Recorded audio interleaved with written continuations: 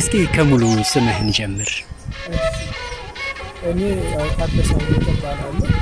አሁን ላይ ከመድረሴ በፊት እዚህ የመንግስት ሰራተኛ ከመሆኔ በፊት በልጅነቴ ከብት ወደ ሶስት ዓመት አድርቻለሁ እና ዋሽንት በእነዚህ ሳይሆን እኔ የጀመርኩት በትልልቆቹ እነዚህ በኛ አጠራሩ ምን ተብሎ ይጠራል መሰለህ? ሸምበቆ ተብሎ ይጠራል። እና አምስት ቅልጥም አላቸው። እነዚህ አምስት ቅልጥም አላቸው። ከዛ ላይ አራት ቀዳዳ አላቸው እና ከዚህ በማግትበት ሰዓት በዛ ከብቶችን ሳግት የራስ የሚሰማ ስሜት አለ። ዝናቡ ሲመጣ፣ ብርዱ ሲመጣበት ልክ የእነሱን ስሜት የምትገልጸው በነዚህ ነበረ። በጣም አሪፍ በጣም አሪፍ። ከብቶች ሲሄዱብህ የሰው አዝመራ በበሉብህ ቁጥር አንደኛው ይመታሃል፣ አንደኛው ያስከፋል። እንደዚህ በሚሆንበት ሰዓት የብሶት መግለጫ ነበረች ዋሽንት እና በዛ ነው ዋሽንትን መንፋት የጀመርኩት መጀመሪያ ላይ። በጣም አሪፍ። ቀጥሎ ልጠይቅህ የነበረው ጥያቄ ይሄ ነበር። ዋሽንት ስትጫወት የሚሰማ ስሜት ምንድን ነው? ስሜት ለምሳሌ የከፋ ስሜት ካለ ያን ያስረሳል። ደስታ፣ ትውስታ የሆነ ይህ ክፋት የምትለው በውስጥ ላይ ያለውን ነገር እየረሳው ትሄዳለህ። ማለት መጥፎ ጠባሳ የጣለብህን ነገር ለምሳሌ ብርድ ካለ ወይንም ደግሞ ብሶት የሆነ በውስጥ ላይ ነገ እዚህ ሁሌ ከከብት ጥበቃ ላይ ነው ወይ ከብት ማገት ላይ ነው የምትለው ነገር ኑሮ የዛ ጋር ሆኖ ተገድቦ ይቀራል ብዬ ነበር ማስብ የነበረው በወቅቱና ተምሬም እዚህ ጋር ደርሳለሁ ብዬ አላሰብኩም። እና ከብት ስትጠብቅ የሚያድርብህ ነገር ሰው እዛ ጋር ያንገላታ የሚመታ አዝመራ በላብኝ ተበላብኝ ብሎ እዛ ጋር እንትን የሚልህ ነገር ያ ነበረና በወቅቱ ያንን ነገር ያስረሳል። በቃ ዋሽንት በነፋ ቁጥር እነዚህ ነገሮች ትረሳቸዋለህ ማለት ነው እና ጥሩ መንፈስ ነው የሚያድር ዋሽንት በባህሪ የተለያዩ እንትኖችን ስትፈልግ የብሶት ትዘፍንበታለህ፣ ስትፈልግ ደግሞ ዘፈን ስትፈልግ በግጥም መልክ ትዘፍነዋለህ እና ዋሽንት እነዚህ እነዚህ ነገሮች ያስታውሳል ማለት ነው። ትክክል። ሁላችንም እንደምናውቀው የገጠር ልጆች በጎችን ስናግድ፣ ከብቶችን ስንጠብቅ ያው ከእንቦሶች ጋር መሯሯጡ ከበግ ግልገል ጋር መላፋቱ ልጆች ጋር እዛው መጫወቱ እንካ ስላንቲያው የተለያዩ ጨዋታዎች የሚስቡና የሚጣፍጡ ወደ ትውስታ የሚወስዱ ቢሆንም ደግሞ በተቃራኒው በጣም የሚያማርሩ ደግሞ ነገሮች አሉ። እንዳልከው ኑሮ ኑሮ በራሱ ከብት ሲጠበቅ ዝናብ አለ፣ ብርድ አለ፣ ፀሐይ አለ። በብዛት በባዶ እግር ልትሄድ ትችላለህ። አለቱ ድንጋይ አለ፣ ሾሁ አለ፣ ጋሬጣው አለ፣ ጭቃው አለ፣ አቧራው አለ፣ ብዙ እንግልት አለ። ይሄ ያማርራል።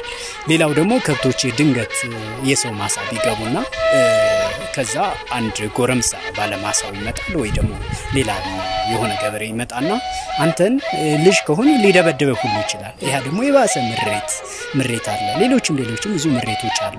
እነዚህን ሁሉ ለማስረሳት ይጠቅማል እያልከኝ ነው። በጣም ጥሩ በጣም ጥሩ። በሙሉ ዋሽንት ለምሳሌ አንድ ሰው አስቀይሞ ከሄደ ከተወሰነ ደቂቃ በኋላ ዋሽንት ስትነፋ ያንን ነገር ትረሳዋለህ። እንዲሁም ምንድነው የሚባለው እኛ ባደግንበት ባህሪ ላይ በረት የሚባል ከዛ በረት ላይ ምሽት ስትነፋ ነብሮች እንኳን መጥረው ይባላል እና እነዚህ ነገሮች ላይ ያስታውሳል ማለት ነው። ደስ ይላል። የሁሉም ነገር ደስታ መፍጠሪያ ማለት ነው። በጣም አሪፍ አእምሮህን ይመስጠውና ወደ ሌላ ትውስታ ምናልባት ወደፊት መሆን የምትፈልገውን ዓለም እንድታስብ ከፊት ያለህን በጎ ትዝታ እንድታስብ አሁን ላይ ቁጭ ብለህ ደግሞ አሁን ያለውን ጥሩ ያልሆነ ነገር እንድትረሳ ያለህበትን በወቅቱ ላይ የነበርክበትን የዛ ላይ ጭቃው ላይ የነበርክበትን በጣም ጭቃ መዘጋ የሆነ ጭቃ ላይ ያለህበትን በሙሉ ትረሳውና ረሃብህንም ያስረሳል። አይደለም ይህን ነገር ረሃብን በወቅቱ ያለብህን ረሃብ ሁሉ ያስረሳል። በጣም ጥሩ ደስ ይላል፣ ደስ ይላል። እስኪ እየተጫወትህ ደግሞ እንደገና እንመጣለን። Woo!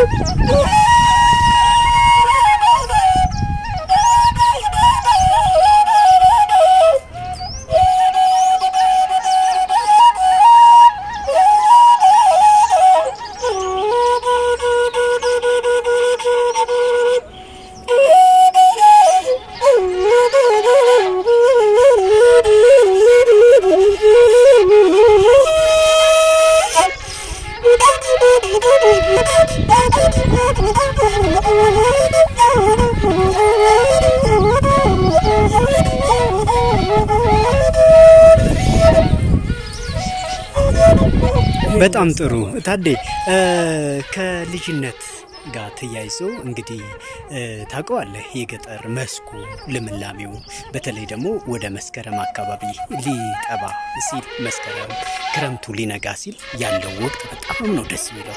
እሸት ይደርሳል፣ የከብቱ ማሳ ልምላሜው ደስ ይላል። እዛ ልምላሜ ላይ እሳሩ ብትወድቅ ራሱ አያምም። እዛ እየተንደባለልክ እየተንከባለል መጫወት ትችላለህ። ትግል አለ፣ ገና ጨዋታ አለ፣ የተለያዩ ጨዋታዎች ደግሞ አሉ። ከዚህ ጋር ተያይዞ ምን ትዝታለህ በልጅነትህ? በጣም ማለት የረሳሁትን ሁሉ ከዋሽንቱ ጋር ተጨምሮ ጥያቄ በጣም ደስ ይላል። ምክንያቱም በጣም ከባድ ወቅት ለልጅ ሰኔ፣ ሐምሌ፣ ነሐሴ ነው። ትክክል ትክክል። መስከረም ላይ ደግሞ አብረሃቸው የነበርካቸው ጓደኞች ወደ ትምህርት ሲሄዱ አንተ እዛ ከከብቶች ላይ ሆነህ ደስ የሚልህ ልምላሜ ምንድን ነው? ጭቃው ይደርቃል።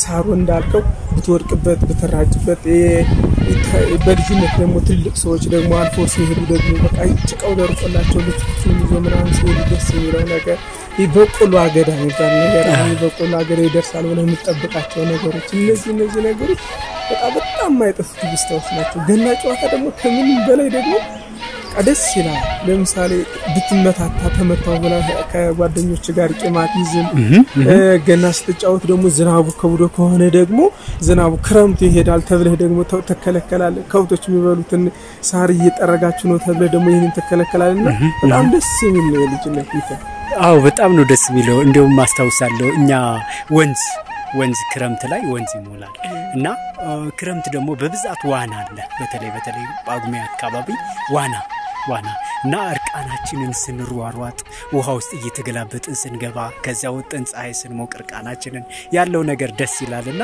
ከዚህ ጋር ተያይዞ ትውስት አለ። እንዲያውም እኔ በጣም ደስ የሚለ ሌላ ደግሞ ያነሳው ነገር ይሄ ልጅ ሆነን ተጣልተን እንደባደባለን በደንብ እስከ ምንዳማ እንኳ ተደባድበን ወዲያው ነው ምንረሳው። ጨርሶ የሚባል ነገር የለም። እሱ ነገር ደስ ይላል። እንዲሁም አንዳንዴ ሳስበው አሁን የሀገራችን ፖለቲከኞች ራሱ እርስ በርሱ ህዝቡን እያባሉት ደግሞ ሌላ ቂም ይይዛሉ። አሁን ህዝቡ እንትን እያለ ያለው ከመቶ ዓመት በፊት ያለውን ቂም ያንም ተጽፎ በታሪክ ድርሳን የሌለ ከየት እንደሚያመጡ ማናቅም በውሸት ትርክ ተነሳስቶ አይደል አሁን ለበቀል ስንቱ እርስ በርስ እየተፋጀ ያለ ይሄ አሁን ደግሞ የሚያደርጉት ምናልባት እግዚአብሔር ይቅር ይበል እዚሁ ያስቀርልን እንጂ ለነገ ደግሞ ሌላ በቀል ይሆናል እና የማን ወጣው አዘቅት ውስጥ ይገባል። ይህ ልጅነት የልጅነት ልቦና በኖረን እላለሁ። ሃይማኖቱም ይላል አይደል እንደ ልጆች ንጹህ ሁኑ ይላል አይደል እንደ ልጆች ብንሆንስ ሁሌም እንደ ልጆች ብንሆን ደስ ይለናል። በርዶን በጭቃ እንደዛ ተንቦራጭቀን እንደዛ በስብሰን እንደዛ ቆሸሸን በሾህ ባለቱ በምኑ ወድቀን ተነስተን በብርዱን እርቃናችንን ተሯሩጠን በፀሐይ ባዷችንን ምንም ነገር ሳንደር ምንም ጥላ መጠለያ ሳኒስ ተሯሩጠን ጤነኞች ነው ምን ሆነው እና ከዚህ ጋር ተያይዞ እንዴት ታስበዋለህ ልጅነትን? በጣም ደስ ይላል። አሁን ያልካቸው ሁሉ ነገሮች ማለት ህዝቡም የአሁን የፖለቲካው ያለውን ነገር ወደኋላ ተመልሶ እንደ ልጅ ቢሆን ምንም አይነት ነገር ችግር አይኖርም በሀገራችን ላይ። ለምሳሌ አሁን ምን ትውስታ አለ ብትለኝ ክረምት ልጅ ሆነ ነሐሴ ከ16 በኋላ እስከ ጳጉሜ ድረስ ማትዋኛለህ እና የእኛ ወንዝ ምንድን ነው ይሄ አፈሩን ጠራርጎ ወደ አባይ ወንዝ ይዞት የሚገባው ይሄ ገባር ወንዞች አሉ። እኛ ከአባይ ጠገነን ልክ አባይ ግን መግባት አንችልም ልጆች ስለነበርን እና ስንዋኝ እንዲሁም ምን ትውስታ ላይ መሰለ አሁን አብሮኝ እዚሁ አሰልጣኝ ሆኖ የተቀጠረ ውሃ ሁሉ ይዞት ሂድ ያለ ውሃ ይዞት ሂዶ በስቃይ በጩኸት በዱላ ምናምን ሰጥቼው ነው የመጣው እና እነዚህ እነዚህ ነገሮች በጣም ትውስታ አለብኝ። ምክንያቱም አሁን ትልልቅ ሰዎች እስኪደርሱ ድረስ ጓደኛን ድረስ እስከ ማጣት ትደርሳለህ እና ልጅነት በጣም ደስ የሚለው ባህሪ ቂም የለው ተደባድበ እንዲሁም መጨረሻ ላይ ዋይተን ስንወጣ ምንድን ነው የምታደርገው? ለምጥ እንዳይኖሩ በምራቃችን እናጥፈዋለን። ይህንን ነገር ያው ባዝሊን የለም በገጠር ላይ እና ባዝሊን ላይ አይታወቅም። እነዚህ ነገሮች አጥፍተን ወደ ቤት እንሄዳለን ማለት ነው እና ይህን ትክክል። በጣም ነው ደስ የሚለው። በጣም ደስ ይላል። ሌላው ደግሞ ልጅነት ማለት የልጅነት ጊዜ ከገጠር ስትወጣ እስከ ስንት ዓመት እዚያ ቆይተ ነበር? እኔ ወደ ዘግቼ ነው ትምህርት የገባሁት በ1990 አምስት አካባቢ ነው ትምህርት የገባሁት በስንት ዓመትህ ማለት ነው? ወይ ዓመት በኋላ ዘግይተሃል። ለሶስት ዓመት ለአራት ዓመት እንኳን ከብታችቻለሁ። ዘግይተሃል። የእኔ ጓደኞች ስምንተኛ ሰባተኛ ክፍል ከደረሱ በኋላ ነው አንደኛ ክፍል ደርሼ ከዛም በኋላ እንዲሁም ደብል መጥቼ እንጂ እኔ ዘግቼ ነው ከክላስ የገባሁት። የወንድ መጨረሻ እኔ ስለነበርኩ እኔ ብዙውን ጊዜ አግቻለሁ ማለት ነው እና እነዚህን ይመስሉ ነበር የልጅነት ጊዜ። አዎ ብዙ የገጠር ልጆች እንዲህ አይነት እንትን አላቸው። ማለት ትምህርት ቤት ዘግይተን ነው የምንገባው። ከገባን በኋላ ራሱ የማቋረጥ እድሉ ደግሞ ሰፊ ነው። ብዙ እንትኑ የለም እድሉ የለም እና እሱ ችግር ይታወቃል። አዎ እንዴት ነው ግን 13 ዓመት ላይ ትምህርት ቤት ገባህ እንበል እዛው እስከ ስምንተኛ ክፍል ምናምን እዛው ቤተሰብ ጋር ሆነህ ነው የምትማረው መቼም እስከ ስምንተኛ ክፍል ብትሆን ብትቆይ ስምንት ዓመት ቶ ዳብል ብታልፍ ስድስት ዓመት ብለን ብንይዝ ስድስት እና 13 19 ዓመት ይሆናል። በ19 ዓመት ፍቅር ምናምን ይጀመራል። እንዴት ነው ክፍለ ሀገር ሰው የሞካከርከው የፍቅር ታሪክ ይኖራል? ደስ የሚል ጥያቄ ነው። የእኔ ታላቆች ከኔ በበላይ ያሉት ታላቆች አራቱም አንድ ያገቷል። በገጠር ባህል ብድር መመልስ የሚባል ነገር ያለ እና ከኔ በበላይ ያለችው የእኔ ታላቄ በማዚያ ነው ያገባቸው። ከኔ ሲደርስ ከኔ በታች ሶስት አለን። ሶስታችን ደግሞ ለአንድ ላይ እየተጠበቅን ነበረ። አጋጣሚ ሶስታችንም ትምህርት ገባንና ጊዜው እየሰለጠነ ነበር።